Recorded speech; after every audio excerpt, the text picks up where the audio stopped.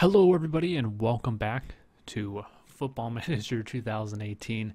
And, well, let's take a look at how things have gone down with the whole job process. Now, as you saw in the last episode, we applied for four positions, um, and almost immediately, that Icelandic team, the long name one, yeah, they offered an interview. I went through with the interview.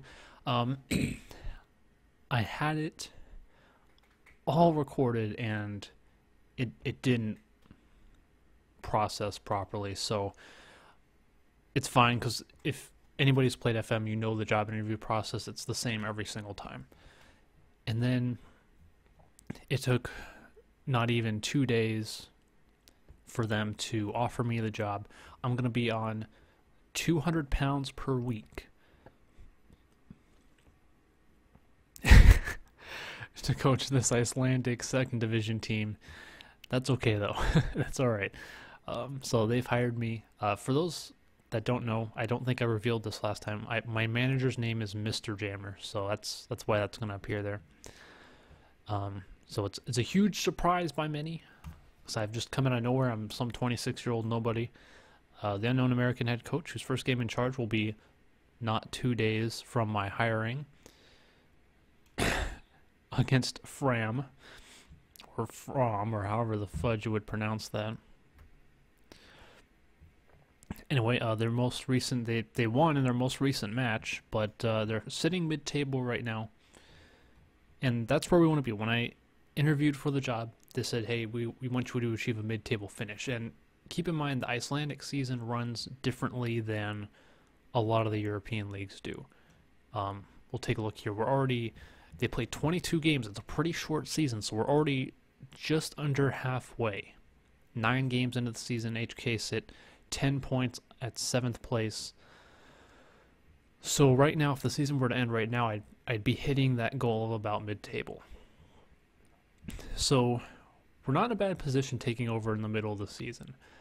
We kind of just got to kind of keep the ship on course keep it moving. You know, don't don't let things get out of hand. You know, a change of head coach mid-season can shake things up a little bit. I don't want to get too crazy in this being midway through the season. I don't want to shake things up too much. Um, we want to just kind of see this out. I am contracted through October of 2018, so I'm good for the end of this season. And then, as long as I don't get sacked, I'll have the entirety of next season as well. So here we see Keflavik leading and Fylkir are the two teams that are in promotion positions right now. Grada and Leiknir F. Oh God. Okay. Um. Seven points though for these teams at the bottom, so it's you know we can't afford to really drop games because if these teams were to pick up some wins, they'd they'd bolt ahead of us. So right now, not a whole whole lot of room for error, and that's one thing about Iceland is it's a shorter season, so you really got to make the most out of you know, 22 games. It's not a lot. So here's the league rules. Um, nothing too fancy, although this is my least favorite part right here. Five subs. I'm so used, you know, most leagues are have seven subs that you name, and you can use three. Five. That makes it. Mm, makes it that's that's hard to deal with. Like five subs it sounds ridiculous, but I mean, it, it makes a big difference, you know, in, in the, the kind of depth that you can have and the, the availability of players. You really got to make the most of your who you're picking for your subs. Can't have more than three non-EU players. Um, no more than four loan players, which is fine. We're all it's an all Icelandic team right now. We don't even have anybody from even EU countries. The season runs from May 7th to September 16th. Yeah, that's what I was saying. It, because Iceland is Iceland, their season they run it through the spring and the summer. And before this, there's a League Cup that takes place. It's like a preseason League Cup kind of deal. Um, that's not what this is. This is the FA Cup, the Borgunar Bikar. I think I got that right. Um, one of these days, I'm going to learn how to pronounce this. We'll we'll probably explore that later on throw that into Google Translate and just have the audio tell me how it's pronounced. But we have taken over HK here in Iceland. Uh, founded in 1970, professional club. Um, as we kind of already looked at when we were doing a little bit of an overview. Um, they, they're fierce rivals with Breidablik, who are in the top tier. They have one legend, uh, actually plays for fierce rivals. He's he's 41 now, but apparently he's a club legend. as This Gunleafer Gunleafs. it's a it's a great name. Great name. Average ticket price is eight pounds. Season tickets, 50 pounds. I mean, that's not terrible. We have almost 400 season ticket holders. As you can see, uh, we play. We're away to Fram in a couple days. Uh, they're one spot ahead of us in sixth place, so that'll be an interesting match to kind of gauge where we are. And uh, then we have poor. I don't know what what this letter is. It looks like a P with a little thing on it. I don't know what that is. Uh, they're in eighth place. Selfoss is in ninth, so we have a chance in, in these next games to, possibly get some points against teams that are below us. It's crucial that we, we get thing, get at least a draw out of some of the like this home match to poor. We should probably get three points, um, and that's where we're going to take a look now at the team report. As you can see, if you look at the team depth chart, just a quick glance, it shows players that can play these positions we're quite solid going forward, and the talent that we have in these positions, I feel like we can do some damage scoring some goals. But the biggest concern, and right here, the top weakness, 10th in goals conceded. That's last place. Or wait, is that? No, that's not. That's not last place. That's almost last place. But I don't know why there's 12 teams in the, the division. I'm clicking on stuff now. Yeah, so not. I'm sorry, not last place. I'm I'm smart, but terrible 15 goals in nine matches. Does not look good. And as you can see, we are lacking on both fullback positions. And when I looked at the team, I wasn't convinced about our center back situation either. The, the whole back line and the goalkeepers, the whole defense is pretty bad.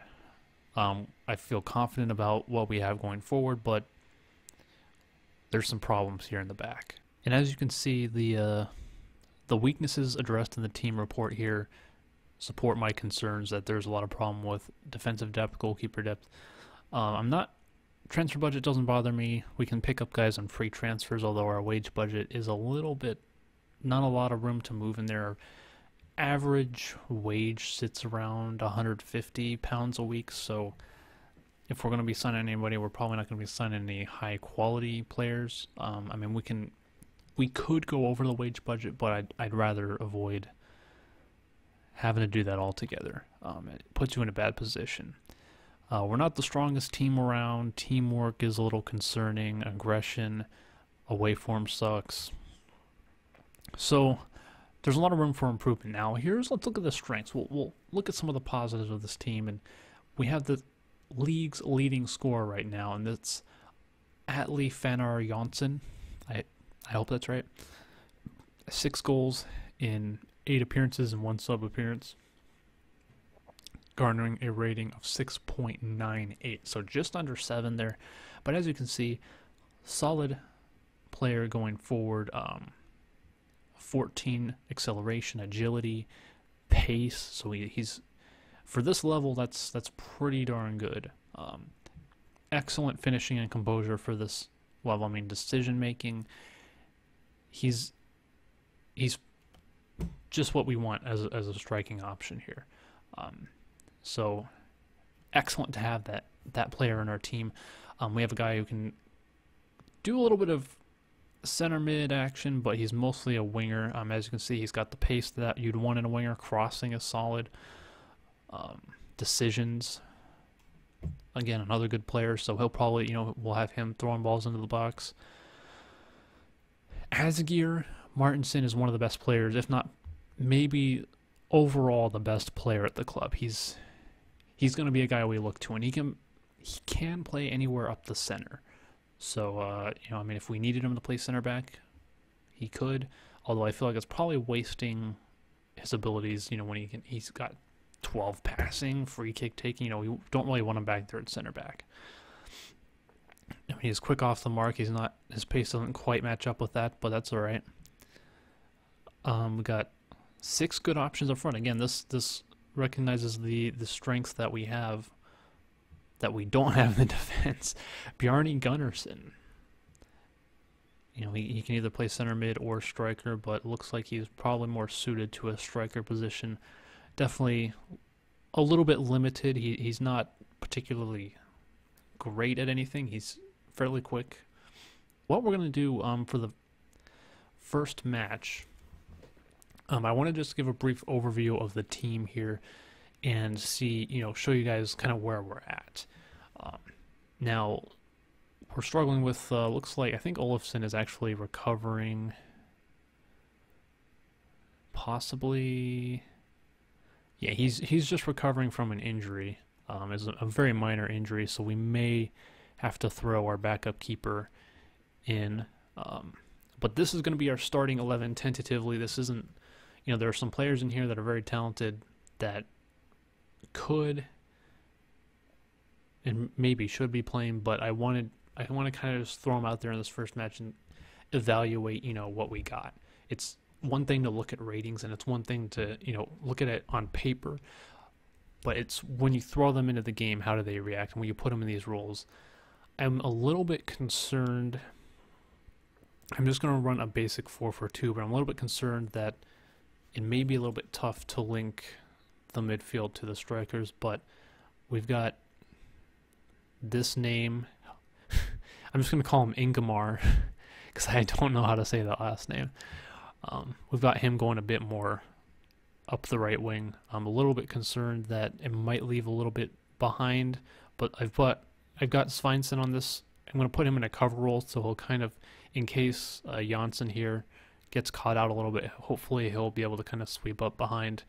Um, he's got good acceleration for a center back, so I think we'll be okay in that regard. Um, we'll see how this goes. But here's our starting 11. I've got an advanced forward, um, Janssen, because he has, you know, 13 dribbling and, and is good finishing all that, advanced forward is probably his best role. Gunnarsson, I, I threw him in as poacher because I didn't really know as far as putting him in as a striker. I didn't have much else that I really felt he was good at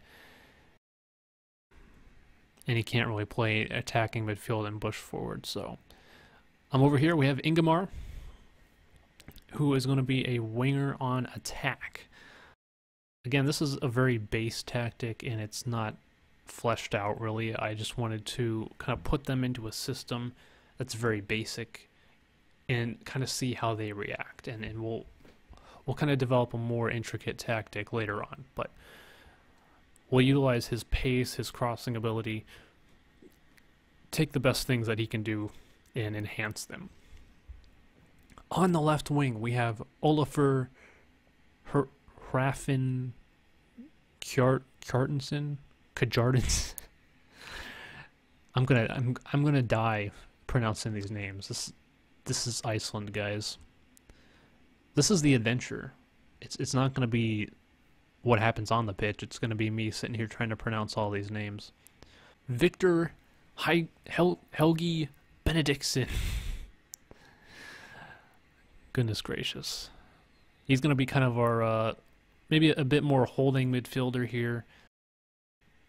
Keep things chill. Don't let the other team get through too much. He's got 14 tackling, good passing, so he can he can win the ball and then get the ball going forward. Good first touch, work rate, Love it. He's a very good player um, to have in the center. Solid. And then we have one of the best players in the club, Asgeir Martinson.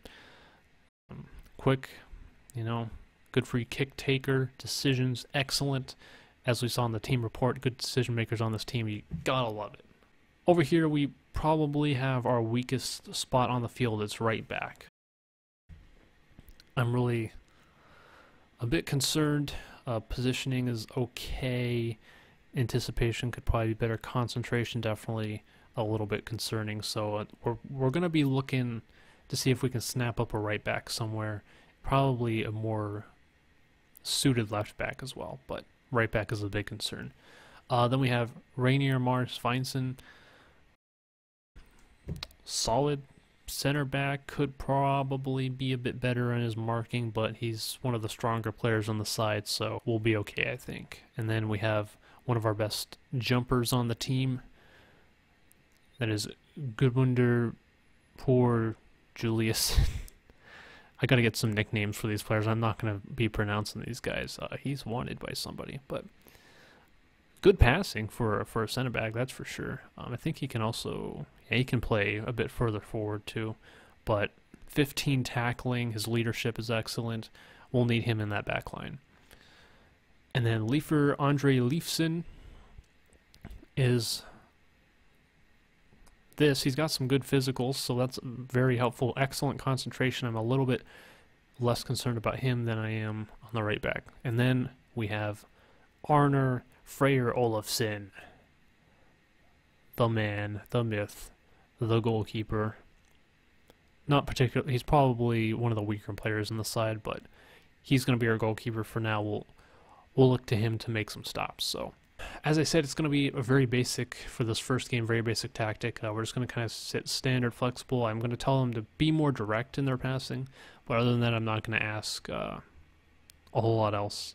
We'll we'll make adjustments in the match if if we see something happening that's super obvious. For now, we'll we'll keep it pretty basic, four four two, nothing special. Uh, and then this this guy, Dean Ank, go wrong. Now uh, we got to look at him because he's got some solid mentals, but he's our kind of defensive substitute because he is also Nepali. That's definitely not an Icelandic name. Dinan Guru. Probably my favorite name on the team, actually. And here we can see the team hierarchy. Uh, Leifson is the oldest player at the club. And we'll take a look at that. I, I wanted to show you that. This is a very young team. Um, Look at the number of teenagers that are in the first team here. And just, you know, 21 and under, it's half the team right there. Oldest player is Leifson at 27, then you have Arneson at 25, and everybody else is 24 and under. It's it's a very young team, so that's something to kind of keep an eye out for. Uh, but there's that. You can see that there are currently four players who oppose me for some reason. I think it's just because they're not they're just not sure about me yet. So we'll hope to uh, turn their turn their opinion around with some good management. So this might not be 100% the best 11 that we have, but I think as far as what we're kind of looking to do in, in getting something out of this this formation, and this tactic, we'll we'll use it. We'll probably end up, since our our defense is pretty weak. Um, I'm thinking we'll maybe do either one or two defensive midfielders, and uh, you know, maybe kind of more or less go for a tactic that's going to have us bombing the ball down the field more or less. But we'll take a look at that later on when we can actually have some match analysis. So that is that. I think I hit on everything I needed to uh, touch here. Next time we will play our first two matches. We'll evaluate how things are going from there. And hey, we'll get going. We'll actually get some interesting things that happen. To, this game really opens up when you start actually getting into matches and being able to evaluate your squad and, and doing things like that. It's kind of weird when you have to just kind of sit back and look at everything, but fortunately, no injuries, fortunately, nothing like that. So this is HK. Next time, yeah, like I said, we'll get those matches going, and I'll see you all next time.